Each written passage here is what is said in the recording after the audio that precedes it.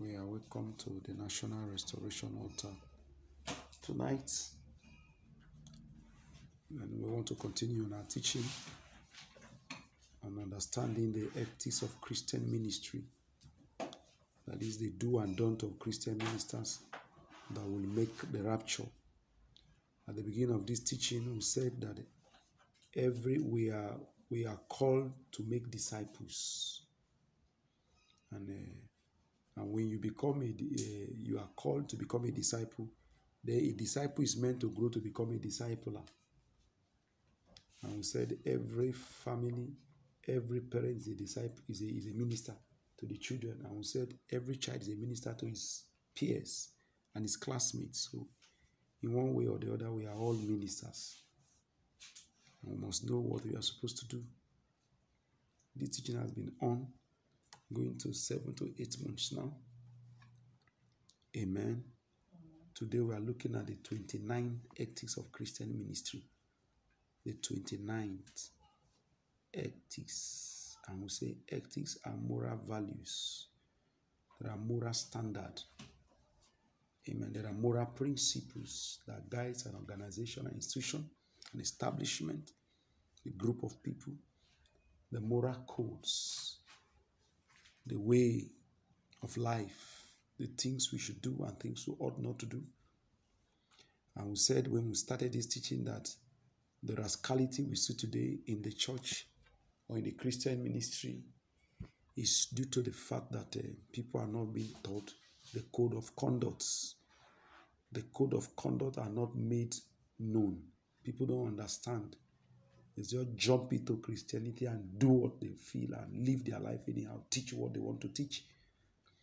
And then uh, one of our texts has been First Timothy 4.16. Say, take heed to yourself and to your doctrine so that you'll be able to save both yourself and your hearers.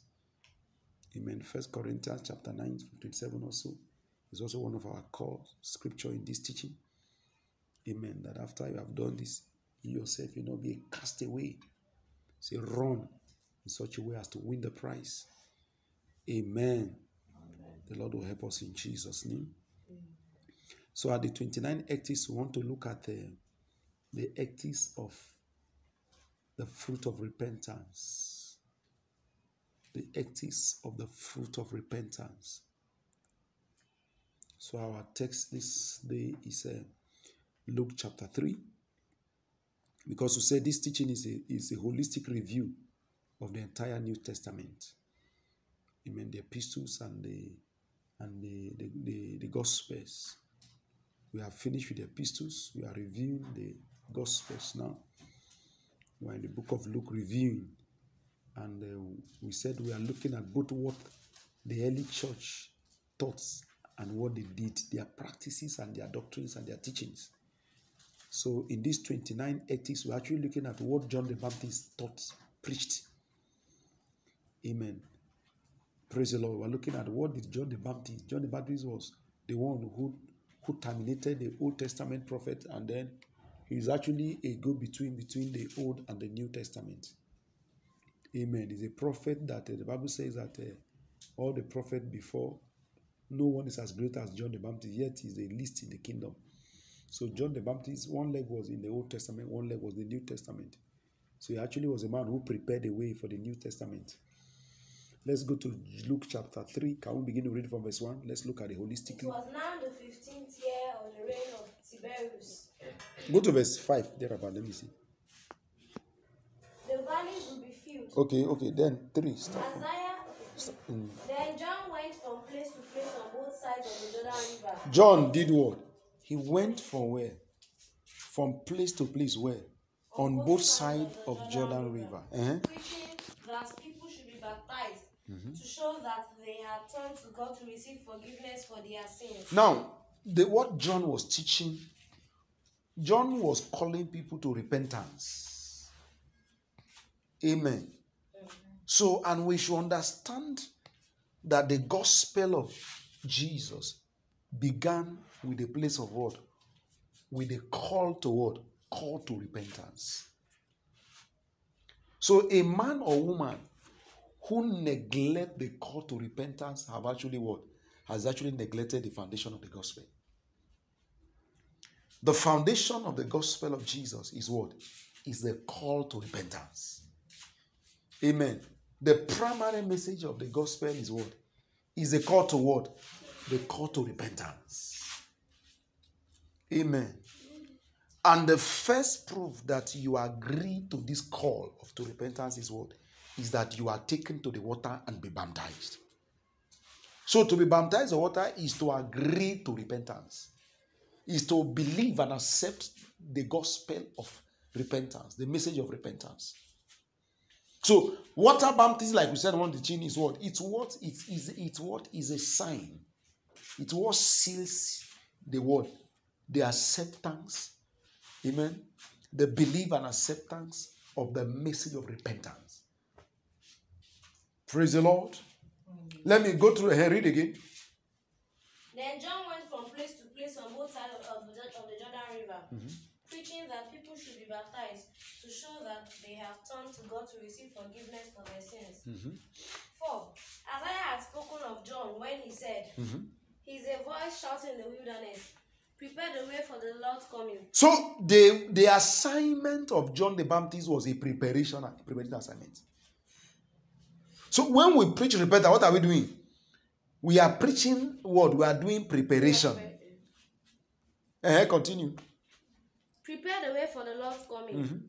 Clear the road for himself for him. The valleys will be filled and the mountains and hills made le- made level. Leveled, yes. The curves will be straightened and the rough places made smooth. And then all people will see as the salvation sent from God. Hmm. So you see now, so the salvation sent for the Lord will be seen when some things are done. Your life will reflect the glory of the Lord. It will become evidence in your life that you are born again, that you are saved.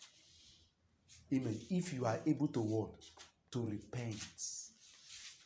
Amen. So repentance is, is meant to what? To make people to see God's salvation. That ah this person's life has changed. Something had happened. Something marvelous had happened in their life.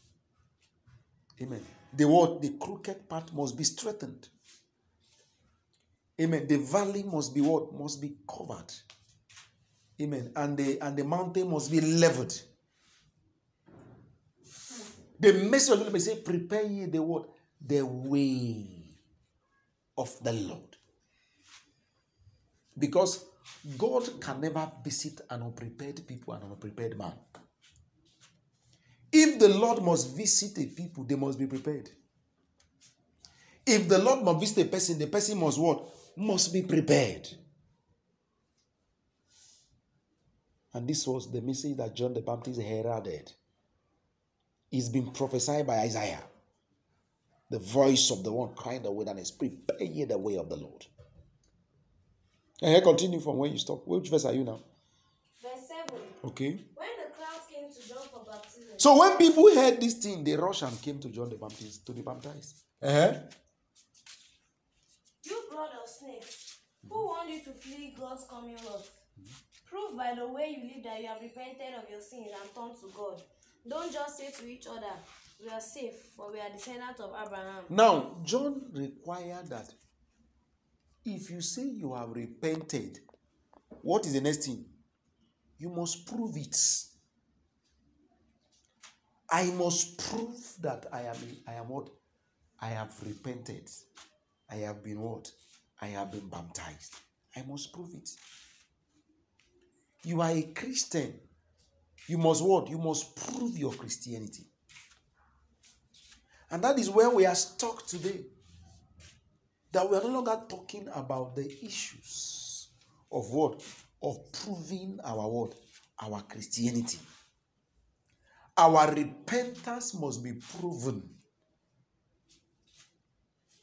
How?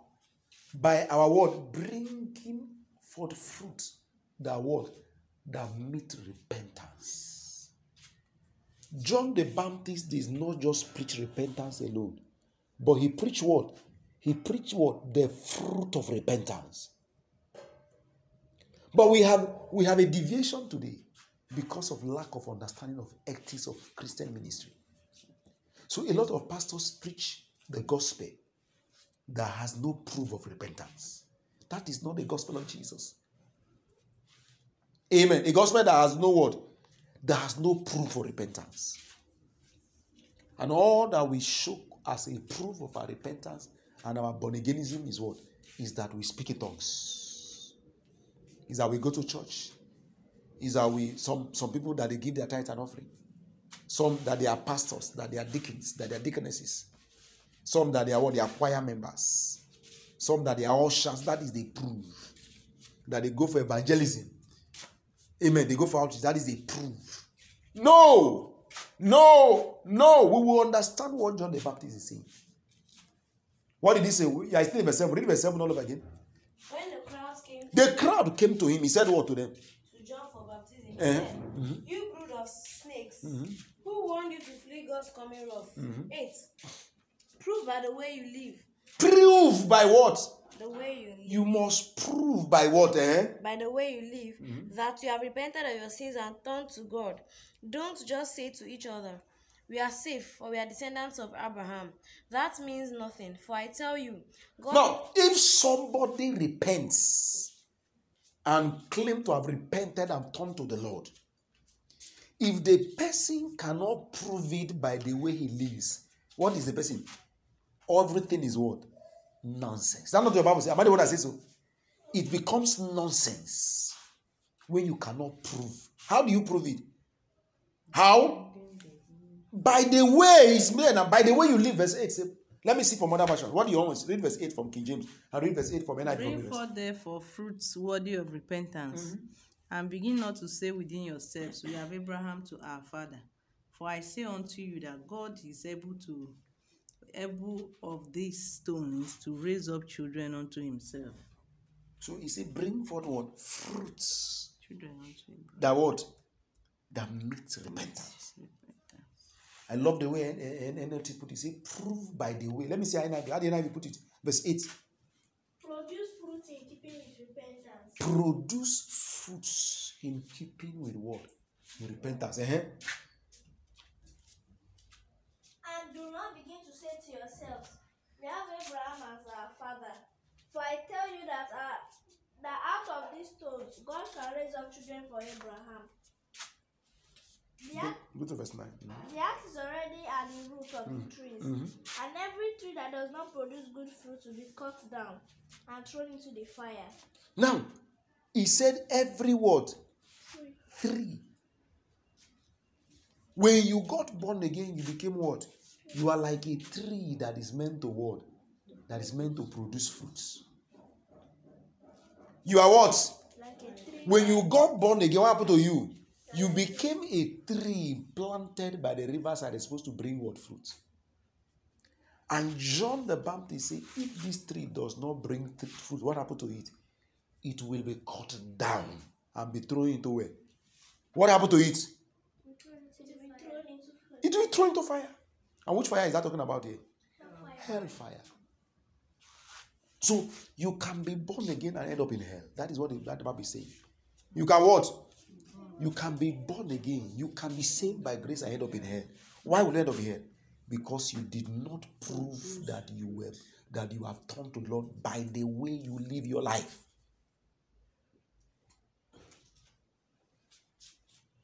By what? The way, the life you live is a proof of whether you are born again or not. Not the things you say. What, what is a proof? It is the life that you live that is a proof of who you are, not the things you say. Am I, am I saying something this evening? What's the proof of who you are? The life you live is a proof of where you belong, whether to hell or to heaven. Amen. What is the proof of where you belong? The life you live. And that is why he said, Titus 2, tell us verse 15, 16. He said, For the conf- with their lips they confess that they know him. Say, but unto every word they are good for nothing. Reprobate. It's not about your confession. It's not about you. John told them, come on. It's not about what you have come to say. Oh, eh, that you have come to accept now and be baptized is not the matter. oh. Amen. This is actually what? an introduction is an is an initiation because i said in the teaching of baptism that baptism is what? Is an initiation. You have been initiated into a sect into what? Into a cult. That cult is a cult where people live life. And what is their life? The life of holiness and godliness and righteousness. So the moment you stop living that life what happens to you you will be he said the axe is what he said not will be laid he said the axe is already what at the bottom of the tree. Not that it will be laid. It is already there. If you refuse to bear fruit what happens to you? You will be hewn down. Many has been hewn down and they don't know that they have been pruned off. And john 15 says this. Amen. Say my father is a vine is a vine dresser any vine that refuse the word that refuse to bear fruit shall be pruned shall be cut off. The branch that refuse to bear fruit will be cut off and shall be thrown to the fire. And many people in church today they have already they have already they are cut off branches but they are still coming to church. They are still pastors. They are still evangelists. They are still bishops. They are still deacons they are still choir members and choir masters and choir leaders. They are still singing christian music Chris- christian songs. They are star christian artists. They are star artists. They sing. People celebrate them as as great christian ministers. But they are what? They are cut off branches. They'll be what? They've been cut off. They've been disconnected. They've been removed from the branch. But yet they are doing ministry amen. And they don't know this truth. And the trans security message have come to create great the devil now sponsor the gospel from the pit of hell. And they call it the trans security. Once saved forever saved. Hyper grace message from the very pit of hell. It can it, it has no place in the bible. Both in the in the gospel and the epistle it has no place in the bible. The axe is at the bottom. Amen so we are meant to live a life to prove that we are what? That we have what? That we have repented.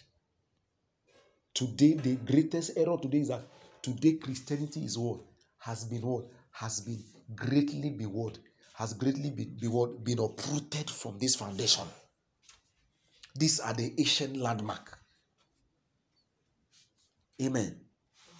You must bring we must prove our repentance. We must prove that we are saved. We are born again by what? By the life that we are living. So as the father has sent me so i send you. Breathe upon them in john 20 i say receive ye life. Receive ye life. It is life that he gave to us. We should live john 20 19 he said receive ye life he said he became a minister by the power of an endless life He's a ministry of life. Is a, is a, is a what? Is a ministry of life. It is the Melchizedek order of priesthood where life is dispensed. It is a life ministry. Amen. And the axe at the bottom of the tree. And that is what we see Revelation chapter chapter 3, chapter 2, verse 6. The Lord talking about what? Amen. See, remember from where you are fallen. Amen. They had fallen. They've fallen, Yeah, they don't know. And return back to your first love. You can fall away. You can apostatize. You can backslide. You can turn away. Hebrews 6 says that. From where you read from verse 1 to verse 6. So those who are once enlightened, who have all tasted of the good word of God, who, who have tasted of the who are filled with the Holy Spirit, he said, if they shall fall away, say it becomes impossible to bring them back. You can fall from your steadfastness. The axe is laid where? At the bottom of the tree. Let's go further. Let's read further. I think we have verse 10 now. Where are we? Wonder, yeah, continue. Read from verse 9, wonder. From the NLT. From Go to verse 10. Go to verse 10. Verse 9. Verse 10. Go to verse 10. The crowds asked, What should Verse 11. Now, you have not have you read verse 10? No. I said you read from verse 10. Why you go to verse Verse 11? 10 is the crowd asked, What should we do? Okay, the crowd, the cr- hearing what John the Baptist was preaching, They heard this message of John the Baptist.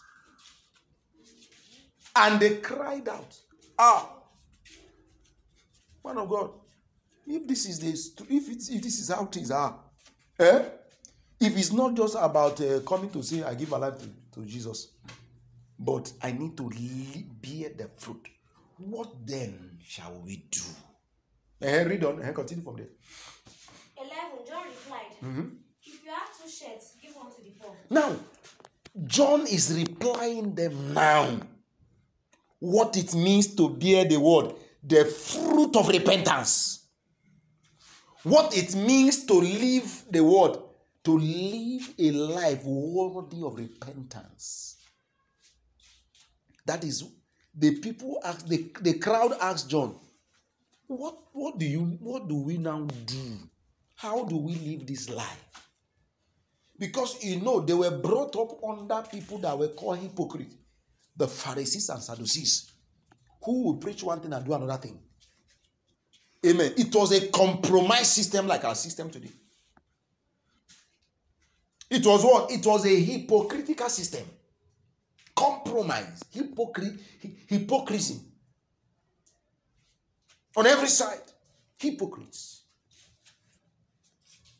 Bible says they transverse the length in Matthew 23. He said they transverse uh, length and breadth and to the sea and make proselyte. That is, they got covered. He said, but they make them twice children of hell. Say, blind guide of the blind. Woe to you, scribes and you Pharisees, you blind leaders of the blind. See, when the blind lead the blind, they end up in ditches. Hypocrites. They were, they were doing all manner of perverse things. Their life was contrary to their to their to, to, to, to, to their words and to the ministry they represented. The people say, John, what shall we do? What how? How what do you mean? And John the Baptist, in the in response, in explaining what it means to bear the fruit of repentance, which is our 29 acts in Christian ministry. He says what? What do you do here? Continue, read on. Mhm. What did he say they should do? John Which verse is that? 11. Verse 11, okay. huh?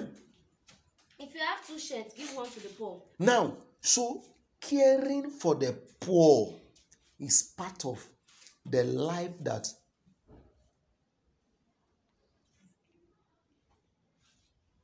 Amen. It's part of what? The life that we are supposed to live.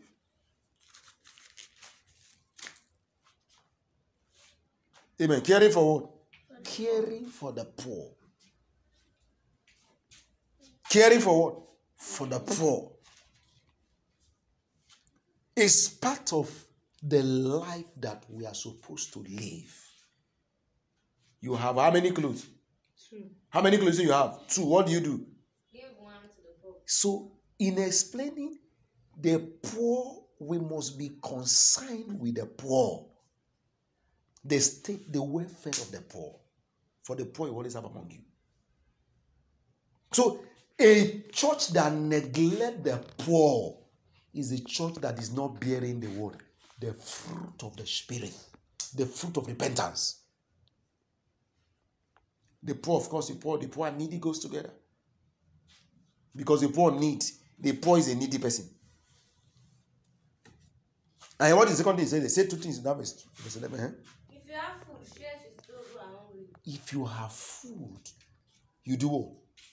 You share with those who are hungry. So it therefore means that if I have food and I don't share with the hungry, and I'm sleeping in church every day, I go to church every day, I'm a committed church member. Amen. And I have neighbors who are hungry, who are naked, I don't care for them. What do you think I'm doing?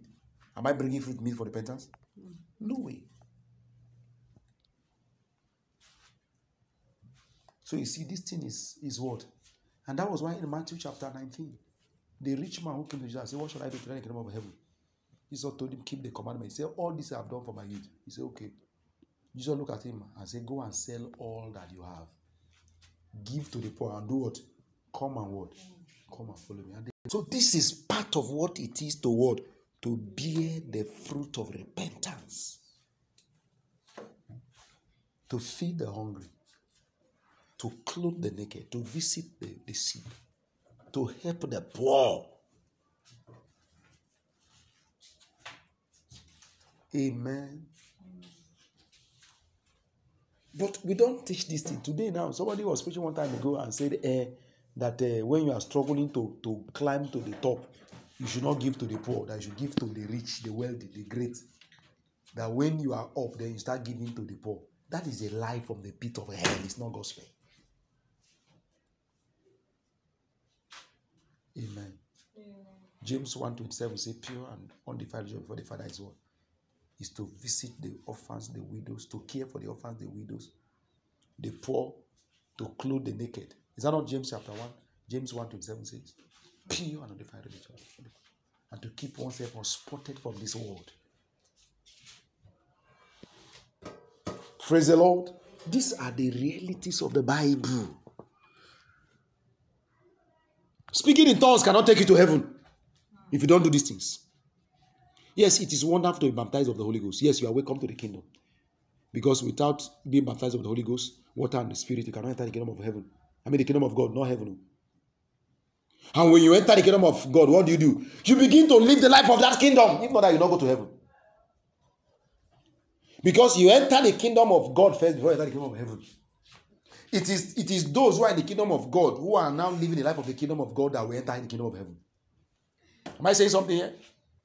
Those who have what? It is only those who have entered the kingdom of God and who are now living the life of that kingdom that will enter the kingdom of heaven. And that's why Jesus Christ said, It is not all that says to me, Lord, Lord, that will enter the kingdom of heaven.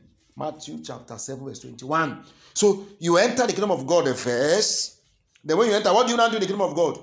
You now live the life of that kingdom before you can be permitted and admitted to go to heaven. That is enter the kingdom of heaven. If not that, you'll be disqualified. Many have been driven away from the kingdom of God and they don't know. They have become bastard and prodigals. They become they become they become sons of perdition, they don't even know it. Are we gaining something? Eh, continue from where you are. You are finished verse 11. Are you done verse 11? Of where you our text is Luke chapter 3 now, verse 11. You are done with verse 11. Go to the next verse. And let's see the, the next thing. Even corrupt tax collectors Mhm. came to be baptized. Also, the tax collectors came to be baptized. eh, And they asked him, Teacher, what should we do? What should we do? 13. He replied, Mm-hmm. Collect no more taxes than the government requires. 14. What should No, praise the Lord. The collectors came to him now. Eh? And came to him and said, What should we also do? Based on what you have said. So that we can bear the fruit of repentance. Eh? What do you tell them? Stop collecting what? Cheating people. Stop collecting more than necessary. You're supposed to collect 100, 100 naira stars. They'll collect 100 naira for people. And then pocket 100 naira. Sign, write, write 100 naira for government. So what does that tell you? You must stop living a dubious life. You must stop doing what? Living dubious life. The tax collectors, they were living kind of life? Corrupt and dubious life. Those who are living corrupt life, living dubious life, the what are they? What is happening to them? They are not bearing fruit of repentance. It's not just about helping the poor alone, helping the needy alone, but you must also what? You must also what? You must live a straightforward life. Your life must be transparent. You must be faithful. What is what he's saying to them now? Those tax collectors were not faithful. They were dubious. They were corrupt. And that is one of the problems we have today. 99% of people that go to church today, they are not faithful. Go and check their, their place of work. They are not faithful to their to their employers. And that is why business are folding our nation. Because faithful man, the Bible says, who can find? There is gross lack of faithfulness in our time. People are not faithful, no faithfulness. And because the church is not into discipleship, What are teaching now what they should be doing. That is what people should be hearing when they go to church, not the junk that they are teaching them today. We were here on Sunday. When one man came, I was teaching them this church close to us. I was this one I said, and I was I was spitting them, teaching them how to how to how to prosper. Is that what you teach in church? A church is a place of discipleship. Our members, people are the most dubious people today in Nigeria, in our, in our country, and several countries of the world are Christians. Dubious, very corrupt, very unfaithful. You, can, you can't trust them. And it's because of the pulpits. Like, like, like, like, like pastor, like the people. That is what the Bible says. Like, he said, like the priest, like the, like the people, like the priest. So the, the, the, the is, and that is what Jeremiah also said. Jeremiah 23, I think from verse 15. When you read from verse 10 to 15, he said, From the priest and prophet, he said, Unfaith, unf- he said, profanity, that is, ungodliness have entered into the land. From the priest and the prophets. Ungodliness. Have you seen that place, Jeremiah 23? From verse 10, I think verse 10 to 15, you see it along the line there. On, on what? Ungodliness have, have what? Have covered the land from the priests and prophets. Amen. No faithful, you know say a faithful man who can find. John told the, the word, he told the tax collectors, be faithful. Stop being corrupt. Stop cheating. Stop lying. Stop taking bribes. Be faithful. Our, our, our, politicians are, are, are, the, are the most corrupt. And the first is the pastors are the most corrupt. You are going, you are in a church, and then in church you have two records. You collected a hundred thousand as, as, as a monthly collection, tithe and offering, and then you recorded a sixty thousand in the other record, and, and then and then you told the headquarter church that it was six thousand that you got, and then you pay your your your your your monthly uh, percentage from sixty thousand and care for thousand. Pastor is aware, deacons and, and the and the elders are aware. All of you, you're on your way to hell.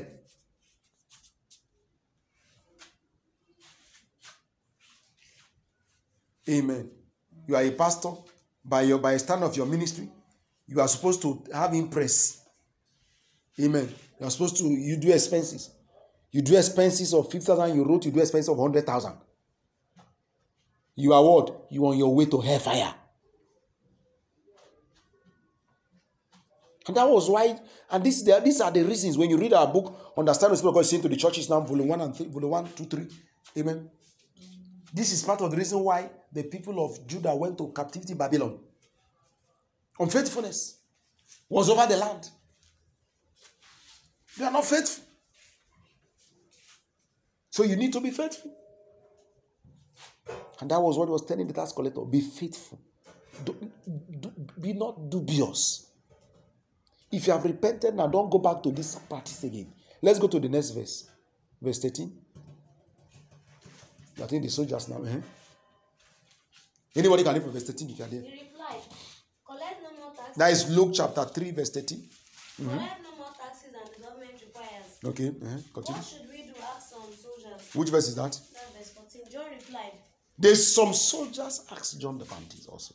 What of can soldiers go to heaven? What of us soldiers? What do we do? Eh, what did they do? Don't extort money. Don't what? Extort, Extort money. money, Or make false accusations and be content with your pay. Hmm. Everyone was expecting the Messiah to come soon. And they were eager to know whether John might be the Messiah. No, stop there. Praise the Lord. He said, Be what? Be contented with your word, with your pay. So, if you are not a contented person, you are not what? You are not bearing the fruit. So, part of what the fruit of repentance is what? Is godliness with contentment. That is a great gain. No extortion. No what? No extortion.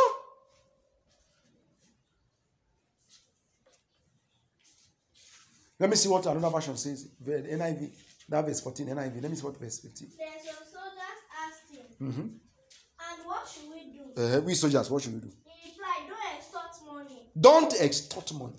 and don't accuse people falsely. The police who are extorting money from people, all the people extorting money. You want to do anything in this country now, they will extort money from you. Everybody, every office now. the road safety of, of extort immigration police soldiers everybody even civil servant in the office now there is so much eh, our land has been polluted with extortion everywhere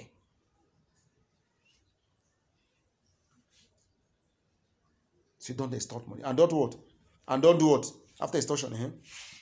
Don't accuse people falsely. false accusation Be content with your pay. false accusations.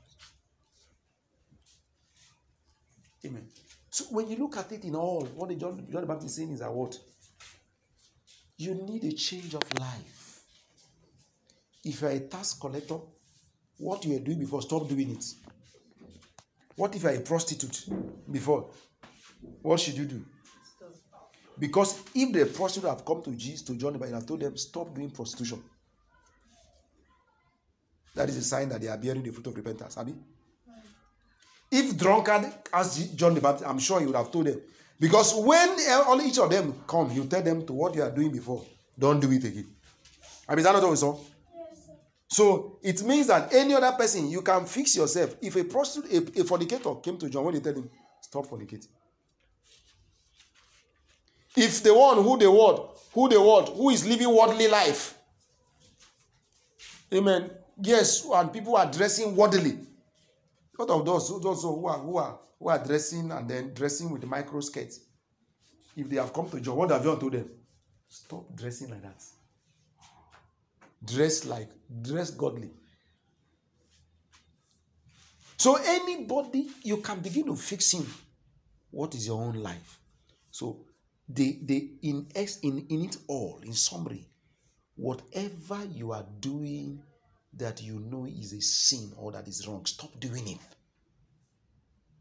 Do live a better life.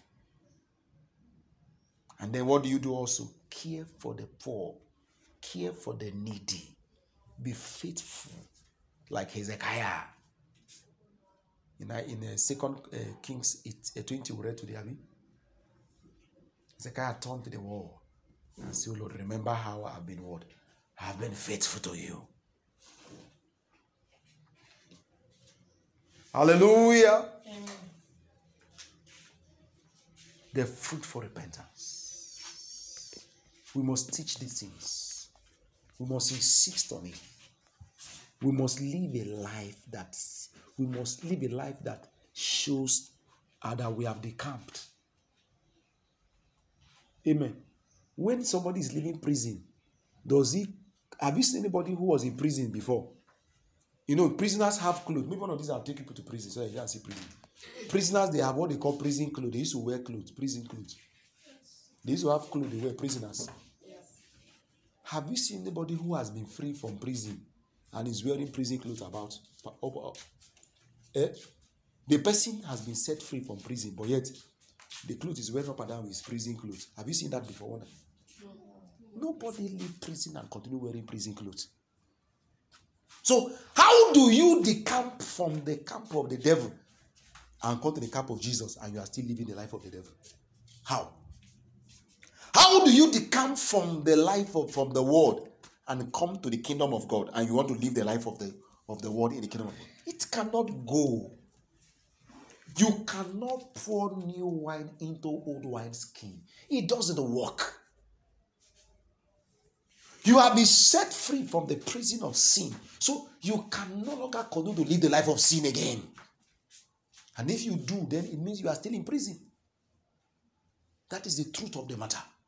These are the ethical issues. This is how it is by ethics of Christianity. Amen. He said the axe is laid at the bottom of the tree. Every tree that refused to bear fruit shall what? Shall be hewn down.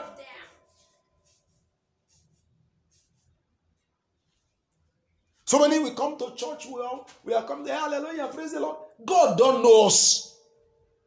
Second Timothy chapter 2, verse 19. When you read that, he said, Let them, he said, For the foundation of the law standeth sure. He said, And let them that what? That name the name of Lord depart from what? Depart from iniquity. For in a great house there are many vessels.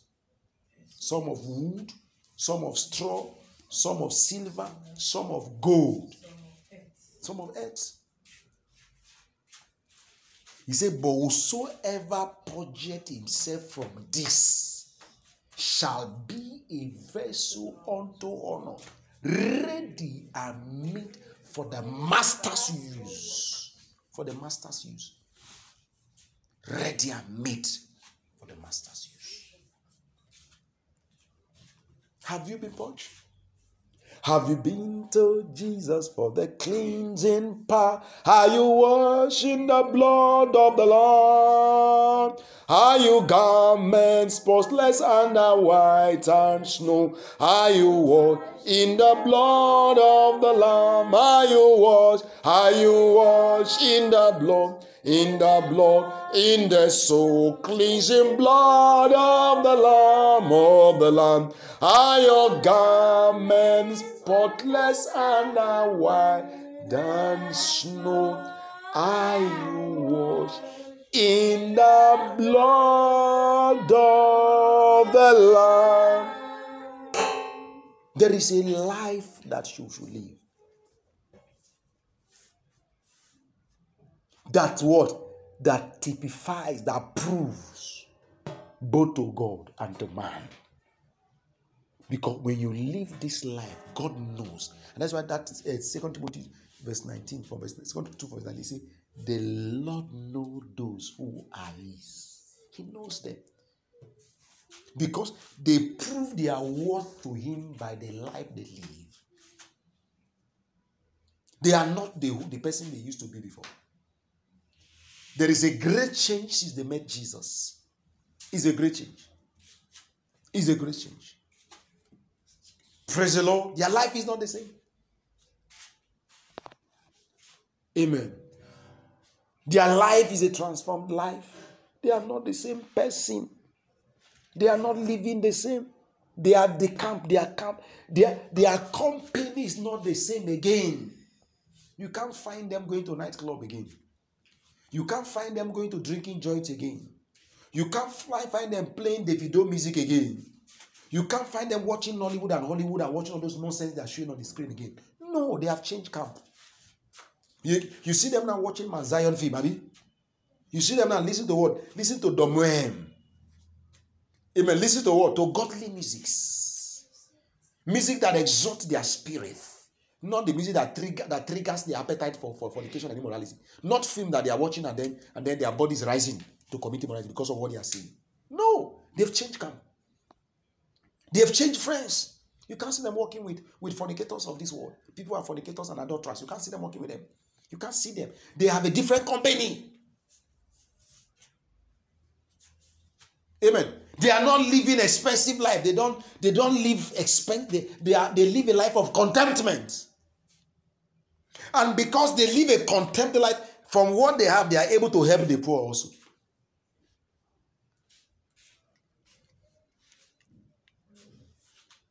Praise the Lord. They are able to help the poor. Of our sister was was sharing with us that I think she pay almost 80% of her of her of her money as tithes. She does, she only keep 20, she keep pay 20, 80% as tithes. She used to help widows. She's helping us also in the ministry. And you want to, and you, and you want to compare yourself with that kind of person? Somebody who have laid, who is laid treasure in heaven? When you try to touch that kind of person, angel man will first kill you quickly. They will not wait for God to give order. They will kill you because they know that that one is an apple of the eye. And that's why they say, I will keep you as what?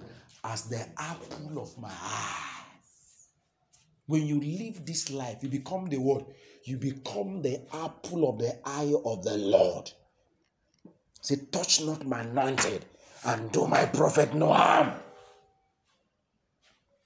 God will now become jealous over you. And you give the angel charge over you to bear you up so that you not dash your foot against the stone. And when the enemy come to you, one direction they shall what? They shall flee in seven directions. And no weapon fashioned against you shall prosper. And the Lord will beat down your enemy that they shall begin to list the, dust, the dust at your feet. And he pay a table for you in the presence of your enemy. With length of days, he satisfies you.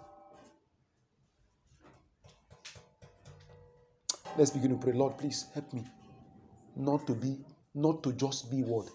a lips Christian. Let me be a Christian that bear the fruit of repentance. Can you begin to pray in the name of Jesus?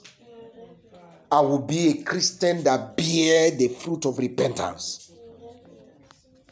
I will not be this new modern Christianity. I will not practice this Christianity of, of, of, of, of, of, of, of, of, of, of, of, of vanity. I will not be a greedy a Christian greedy of gain. No, I will be a contented Christian. I will be a Christian that will give to the poor, give to the needy. A Christian that will live a life of holiness and righteousness. Help me, Lord. Kambrado shakatala labalaya. Ezubradia kashato libregedia. Madado sakalabalabala. Indusi dizigelegede. Legedegele. I will bear the fruit of repentance. Zumina e kaprodo samina galegedia. Kushakalabarali. Amale bregede bobo kusu bregede bolo kushikatabala. In the legede bodo simbra gadabalish. Thank you, Father. In Jesus' name. We should have not been looking for money for the convert discipleship center. As we are looking for uh, five million to buy the land, the farmland, we should have received by now. We should have received like hundred million. If we actually have people who are truly bearing the fruit of repentance. Amen. We have people that say, Pastor, they will call a pastor. Me, my me, my me, me and my family will come and build a chalet in that center for the converts. Amen. We should not have problem. But the people, the people, we don't understand the ethics of this ministry. And that is why we are running after vanity everywhere. You go to the house of a Christian, he has eight different uh, exotic cars. He has he's living in he's living in in in in in, in a house that uh, in the next 20 years he cannot enter some rooms. I'm not saying we should not invest. It's not what I'm saying. I'm talking investment when when when, you invest as a believer in and the and the investment is yielding. What is what do you do with what comes out of your investment? To support the work of God. To do what? To support the work of God. So that you can have wherewith you can stand and say, Lord, remember how our word have served you faithfully. I'm trusting the Lord that the Lord will help the church to come to this point. To know what is good to be done, to know the life to live. Let's go ahead and pray, Lord, help me to live a life that is worthy of repentance, to bear the fruit worthy of repentance. In the name of Jesus.